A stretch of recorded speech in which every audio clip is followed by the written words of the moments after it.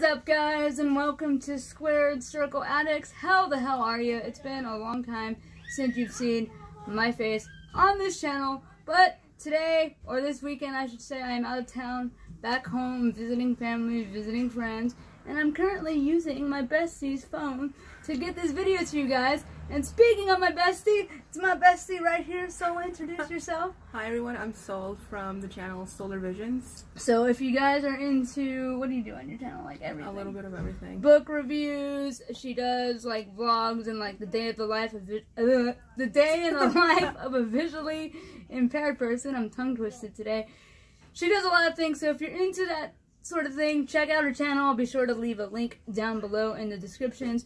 But anyway, I thought it would be a really cool opportunity to do something cool, which is to test my best friend on my favorite wrestling thing. So let's see how much my best friend knows about me and my wrestling and the people that I love and things like that. So I think this should be fun. So the first question is best friend.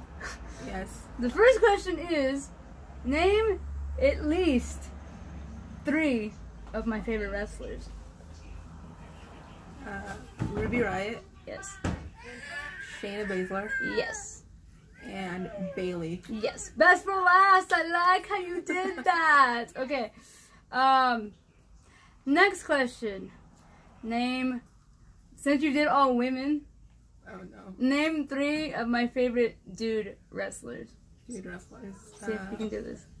Finn Balor, Yes. One. Ricochet, I mean, he's in like top 20, so I guess I'll give you that. Okay, let's see if I can think of another one. The that guy from the Team Little Big. No. Nope. Braun Strowman is unfortunately not one of my favorite wrestlers. Come on, you should know this. Think about it. Who am I like really jealous of right now? Like, I wish I was him, you know? I think we all wish we were him. Uh, Seth Rollins. Yes! There you go. I helped you out on that one a little Um, bit. But, I mean, you named three already, so it's fine.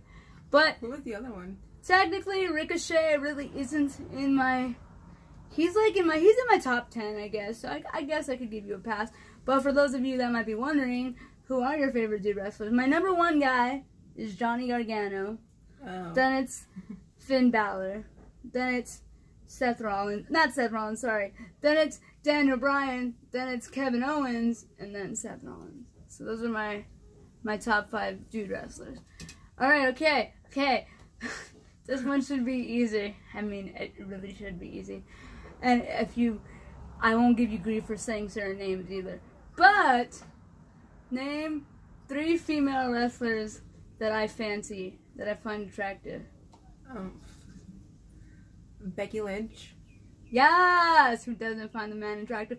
By the way, I wish Becky Lynch would impregnate me too. Shout out to Maria Kanellis, because girl, I feel you. I get it. I get it. See. Rhea Ripley. Yes! Aussie, Aussie, oi, oi. By the way, if you guys haven't checked out her match with Piper Niven from this week's NXT UK, definitely do that. Great match. Two of my faves. Yeah.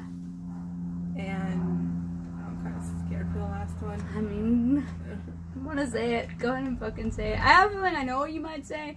Uh, Ruby Riott. Ruby Riott, yes. I think I thought you were gonna say someone else. I thought you were gonna put me on blast on YouTube. I mean, it's not Oh, really okay. putting me on Yeah, blast. never mind. I- I people people know that. who it is. I mean, like my shirt. Look, I'm already putting myself on blast today. Shayna, if you're watching this, I love you, girl. I'm a Shayna sexual. Always will be. Always, always. Um. Okay, let, let's see. Let's see. What else can I ask you? Ooh. Name at least one wrestler that I cannot stand. At least one. One. I know you know the answer to this too. If you should. Uh, Naya. Yes, Nia Jax. Boo! You, Nia Jax.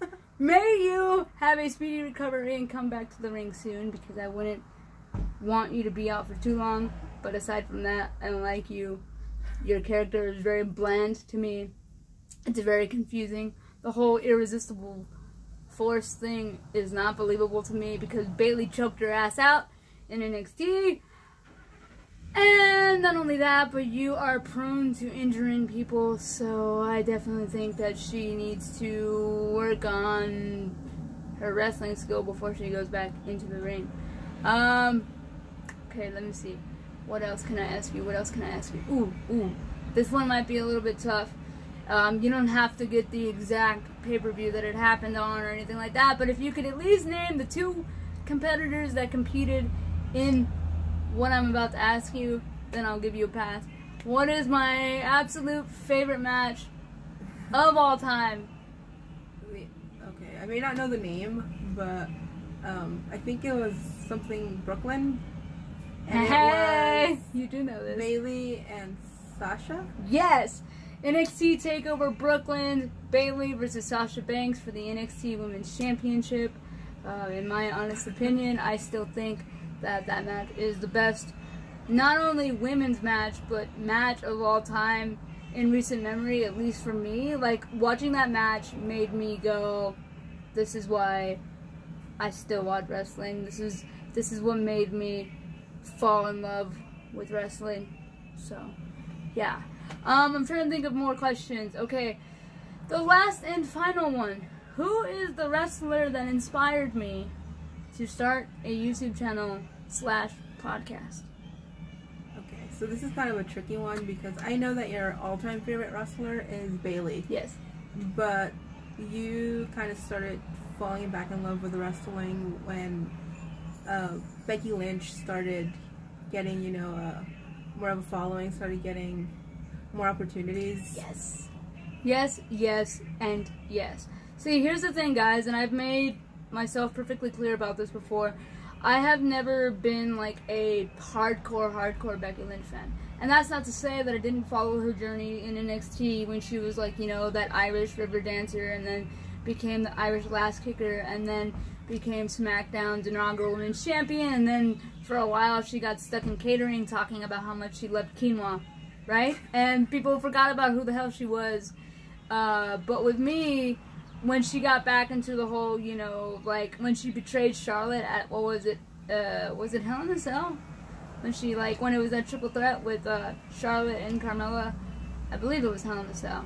Correct me if I'm wrong, guys. But when she when she pretty much turned on Charlotte, how the crowd was supposed to boo her, at least that's what WWE thought, and then that obviously didn't happen, and she became what we know today as the man.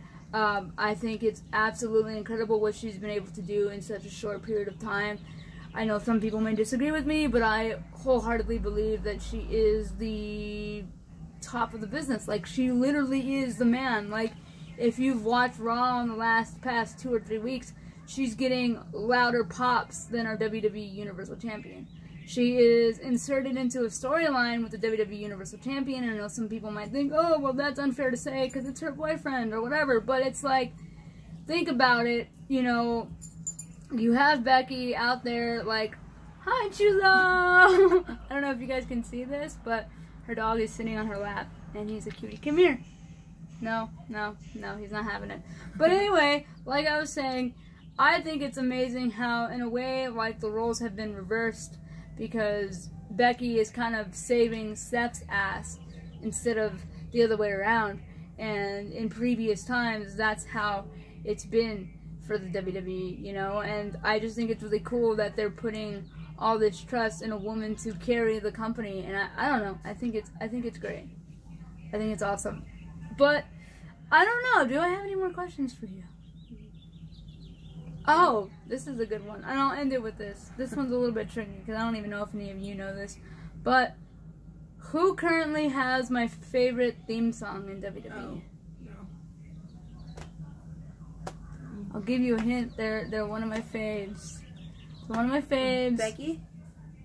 She has a great theme song. That whoa, that's in my that's like in my top three. But who has like my all-time fave? I want to see Bayley, but I don't think it's Bayley. No, Bayley. Bayley's easily in my like top ten, but definitely. Did I mention them earlier? Yes, you did. Ruby? No, you're close No. though. You're close. You're close. Same initials, by the way. That might have given it away for some of you. Ruby. R Nar. Well, who has who has double R? Roman, no. No, no, no. Roman Reigns. Whoa, guys. No, no, no. No, no, no. Look, this proves that she actually knows a lot of wrestlers' names because I talk about wrestling. we we like ran to each other about like what I'm into, and then you ran to me what Yeah, you're into. And I'm always bitching about certain things like the creative process. Ronda Rousey, no, no, no, no, no. Anymore. Right now, she's Same not. initials though. Review. Same initials. Same initials.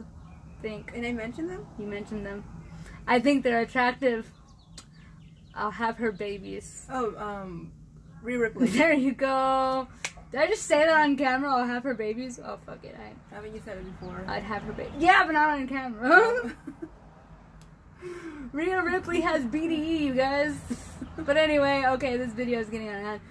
But I'm gonna conclude this video. I hope you guys enjoyed it because I did. This was a little fun thrown together thing.